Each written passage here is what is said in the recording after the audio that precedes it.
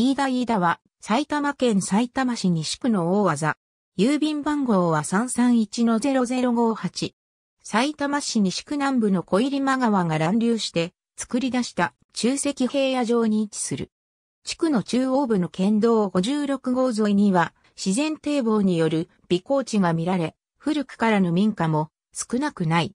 地区北部を新川が東西に流れ、流域に水田も見られる。東側から南側にかけて中野林に、西側で二津急に、北側で幸川や水畑に隣接する。地内の南部に、大字中野林のごく小さな飛び地がある。また、地区の北方、埼玉市立栄小学校周辺に、大字飯田の飛び地が存在する。土地利用としては、住宅地などと農地が混在する。なお、かつての飯田村の農民が開発した飯田神殿は飯田からは離れており、明治の大合併でも馬宮村に編入されている。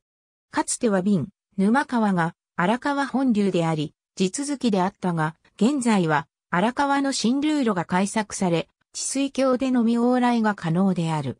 元は江戸期より存在した武蔵区に足立郡職、田谷領に属する飯田村であった。飯田村の区域が現在の大字飯田となっている。地区中央を川越道が東西に通り、岩月と川越を結んでいた。